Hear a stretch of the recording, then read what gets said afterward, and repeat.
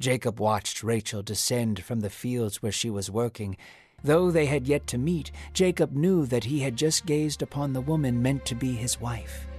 Jacob told Rachel who he was, and immediately she went to go find her father. Laban ran to Jacob, and the two embraced. A joyful mingling of souls began to emanate from the entire family. Jacob was accepted into the house of Laban, and the two became closer than father and son.